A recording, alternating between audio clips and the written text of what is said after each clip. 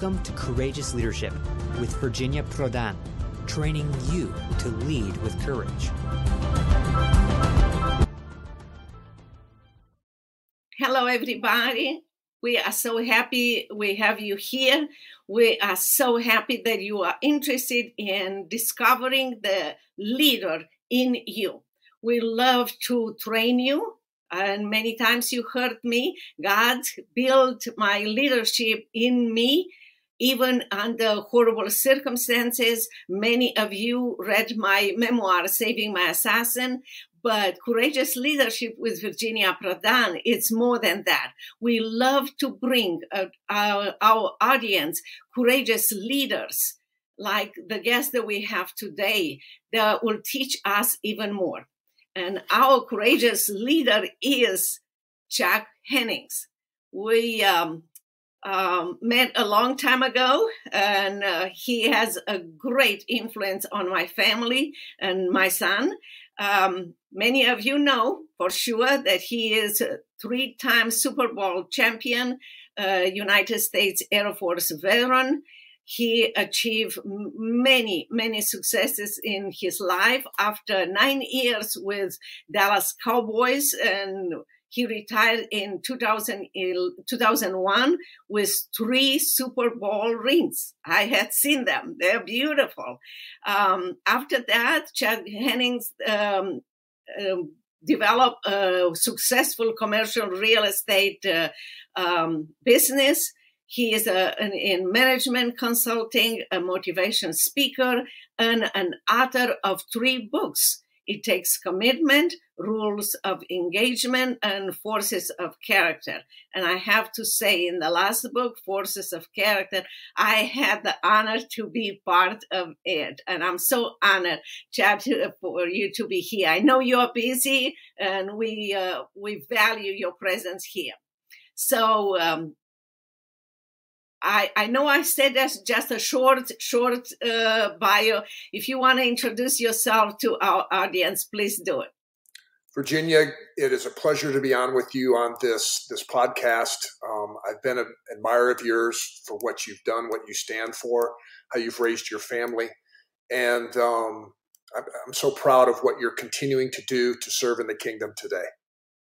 Thank you, thank you so very much. Chad, I would love for you to um, tell our audience how you started because many people especially in our condition and situation in america they are afraid to start. They believe that in order to start you have to have everything lined up. Would you share with us how you started? Well i you know for me I, I had a great foundation that was instilled in me the aspects of character integrity of knowing uh, identity, of purpose, of sense of mission.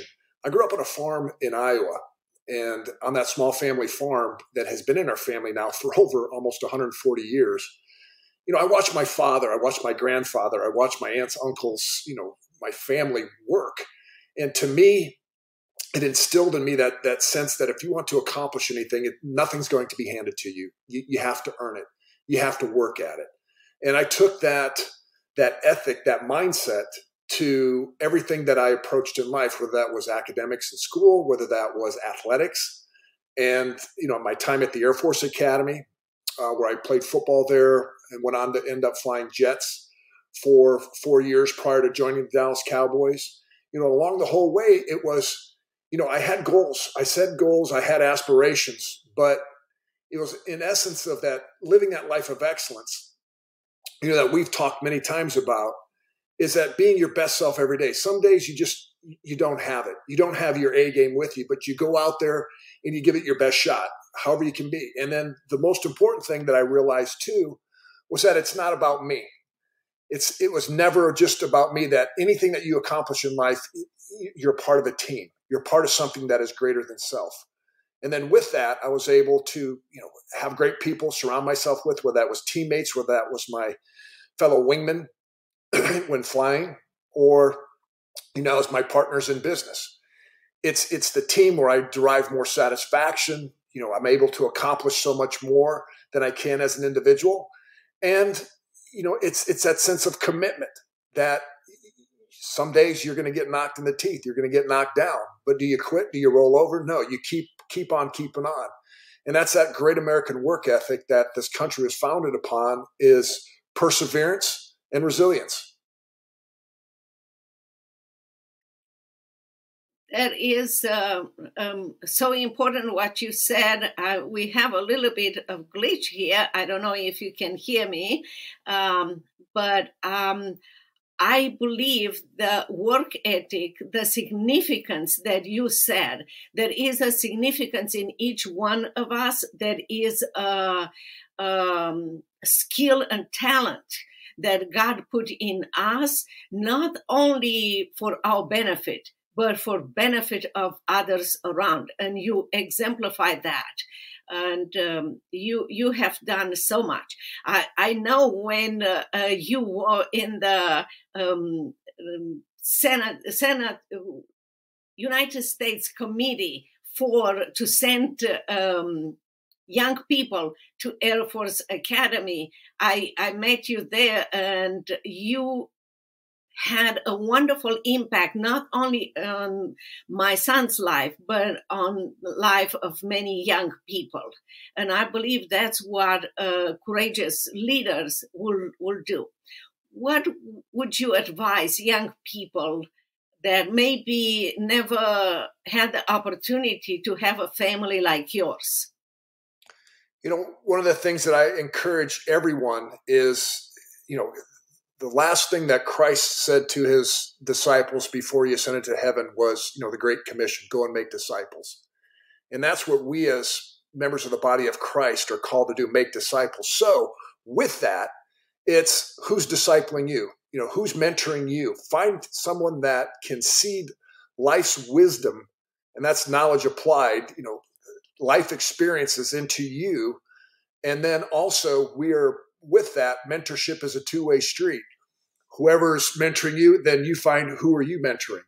So if you're a young adult, you know, who's you know someone older than you that in your sphere of life that has influence over you listen learn from them but then also who's that maybe that elementary school that middle school that high schooler that you can then mentor and and help along the path of life because it's it's we are all a part of the body of Christ. We all have different skill sets. We all have you know different strengths and weaknesses. And it, it takes all of us to succeed. And that's the way god had intended it to be. We need each other. That is so true. If we take Christ's example many times he said when he was here i don't do anything other than what my father tells me. In another word, he told us that he was led by his father in order later on to be raised up to the highest level that the Father um, gave Christ. There is no other name in this world higher than, than Christ. So in order to be led, you have to be a leader, you have to be led by someone. We want everyone to be led by Christ and humanly, like you said, by by someone. And um, uh, that will in put in their lives something really special. And you have done this not only in your business, but also in your ministry. Can you talk just a little bit about your ministry?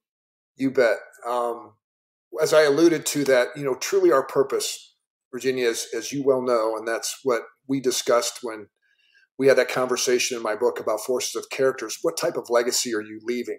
Are leaving behind to others. And you know, for me, a, a legacy is not it's not about material possessions accumulated or accomplishments, things you've been able to achieve, or even those areas in life where you failed. It to me, legacy is about relationships, and it's about planting those seeds for the next generation.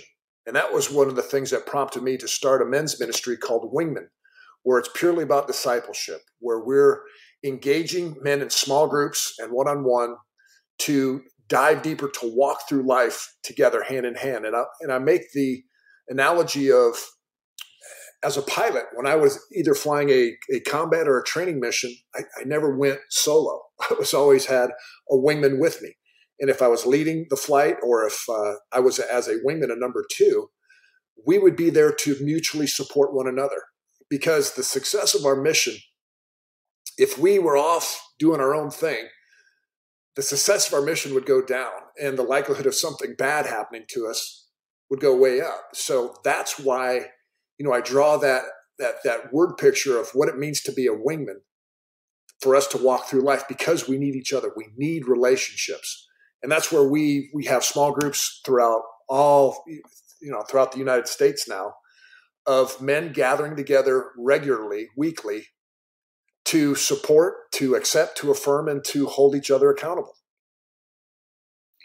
Well, you said something very important. I mean, everything you said it's important, but accountability it's so important it is so important. Yes, it was part of uh, uh, your academy training. And as a mother, I, I remember watching my son from high school being transformed during the academy and all his years, you know, the current years in, in the Air Force, being transformed wonderfully and his skill and talent being so much developed as, as a leader. But accountability is very, very important sometimes. And you have to be open to things that you go in life, things that work and they don't work and, and so forth. How do you think that accountability will work in a life of young person who might think, oh, I don't know who, who where to find those people that will train me? You know, first and foremost, it's ask God, get on your knees in prayer. You know, it's if you don't have friendships or relationships, you know, ask God about that. And, you know, He has been faithful in, in my experience in life and, and the men that I know that have wanted that, it's you have to first and foremost ask God in prayer. But then you have to have the uh, the courage at times to take risks. You know, for a young person that you know wants that mentor, say, "Hey, you know, walk up to somebody that you admire, at least from afar, and just say, "Hey, you mind grabbing a cup of coffee?" You know, I just love to be able to ask you some questions just about life. You know, and and I'm confident the individual will say, yeah, you know, that's it's low threat, it's it's not much, but yeah, I'll be happy to do that. And because I I can tell you there's there is this divide between uh, Generation Z or the millennials and and us as baby boomers and above is the fact that relationally sometimes we don't think as older men think that we have anything to to give and to offer to the younger generation because you know they're technology they speak a different language you know they just culturally they're different. And that young person is the same. Why would that older individual that has lived life that has accomplished so much why would they want to um you know seed seeds into my life? And that's where there's this disconnect and this valley this chasm between but it's God wants us to come together. And we sometimes somebody just needs to take that risk and take that chance and say, hey, let's go grab a cup of coffee or go grab lunch someplace. You know, my treat. That's how relationships start organically. That's amazing. Just one question. Take the risk and ask a question. It's amazing. It's so true. I will also ask you, what do you think? How do you help business people that are under so much pressure today you know all with all the demands and changes from the government and everything. How do you help them? Well i have a, a commercial real estate company and and first of all we i help them by getting to know them. On a personal level getting to know them you know their business getting to know where where their needs are where their pain points are and if I can offer any assistance, any help, any guidance, that's where I plug in. It's, you know, from a sales perspective, so many people, and I'll call it being that used salesman, used car salesman, where they're going to come in and they're just going to want to push their wares, get you to, to buy something that you don't necessarily need without taking the time to listen.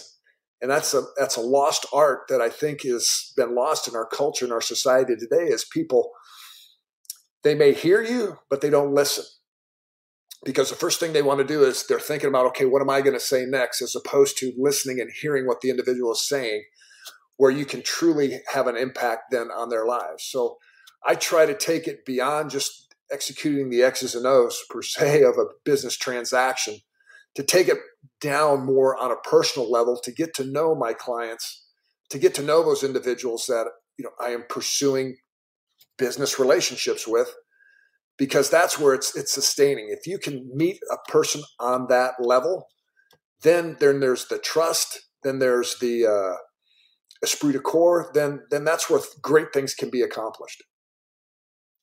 I believe that you will agree with me that the same the same principle, or at least I use when I am invited to speak somewhere at a company, uh, the college, or I try to uh, to learn first about them, about their needs and everything.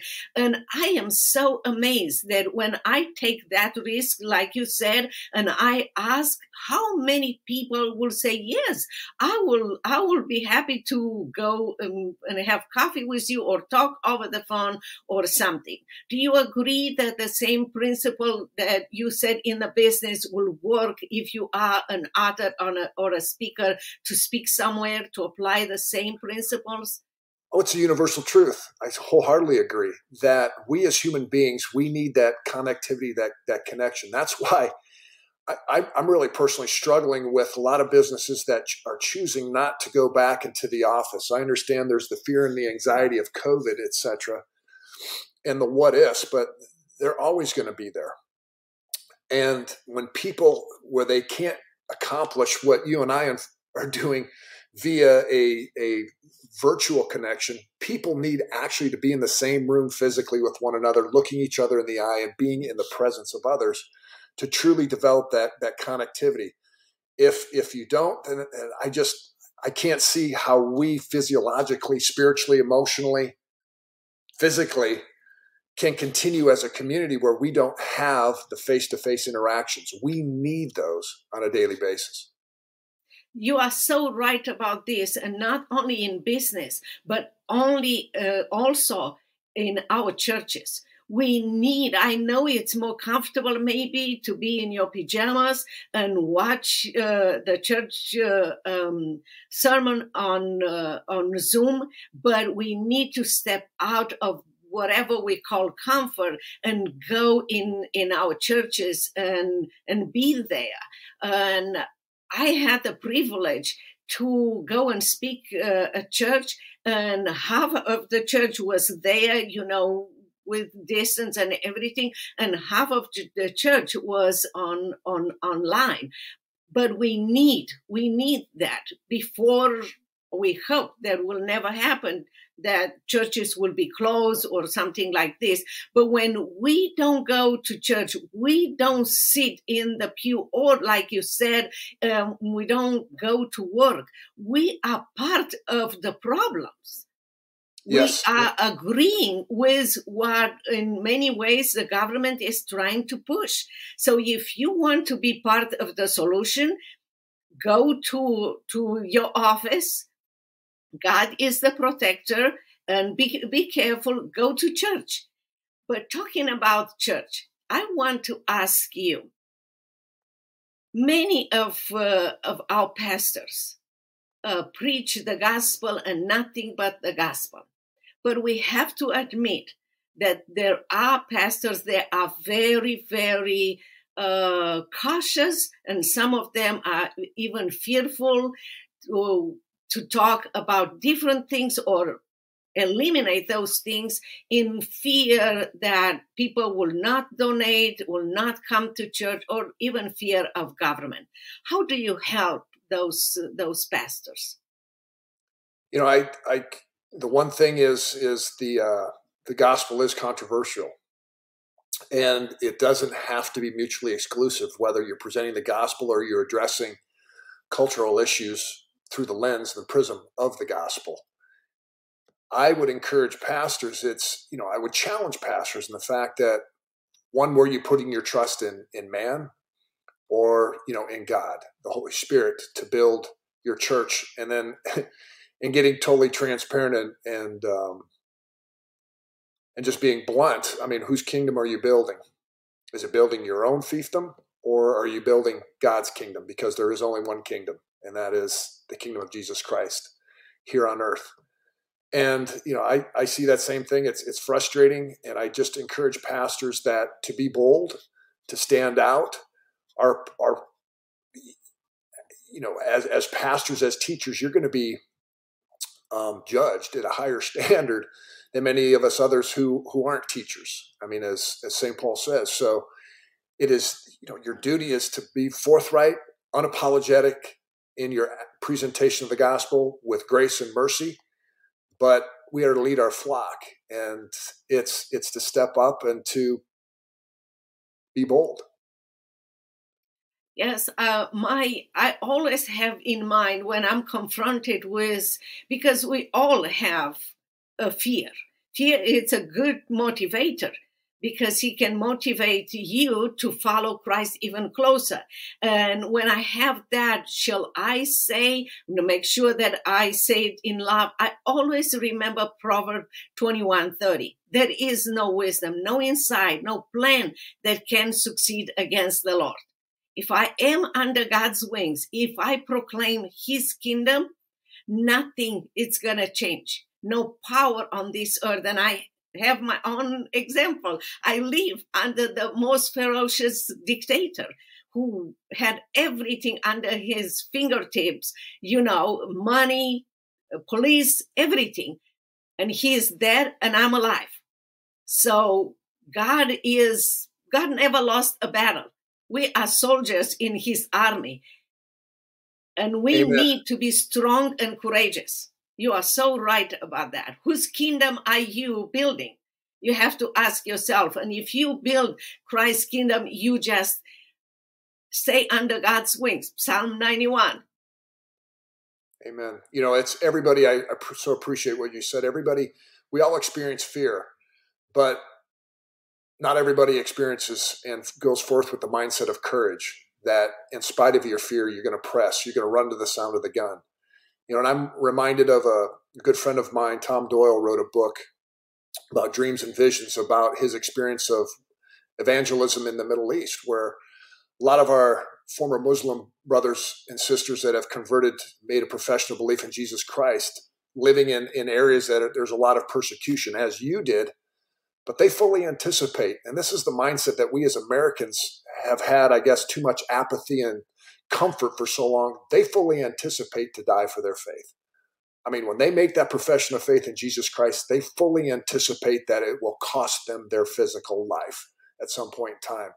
And that's where I pray that, oh, I wish that we here in this country, that I could have the courage to face each day with that mindset of being able to profess Jesus Christ as my Lord and Savior, no matter what the world or the government or the community or those around me will say and, and push against. Because if if not me, then who? So I, I appreciate what you shared there, Virginia.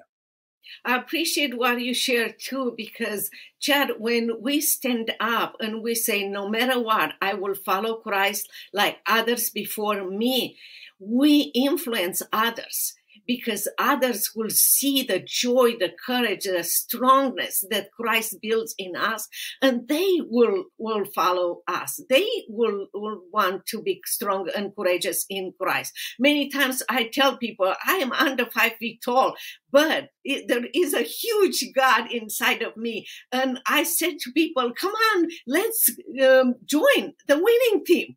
Christ never lost a battle. I am in the winning team. So I hope that people take take that uh, to heart and uh, they will.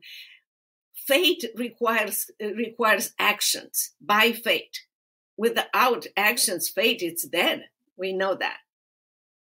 I just want to thank you so very much. We just scratched the surface, and we you can offer so much. We're gonna invite you more to talk about more about your your ministry. You do more than that you share right now, but we love to invite you again. We want to thank you for your time, for your values that you you share with us, and um, we are so grateful for your time. Thank you, Virginia. It's an honor to be on with you. Thank you.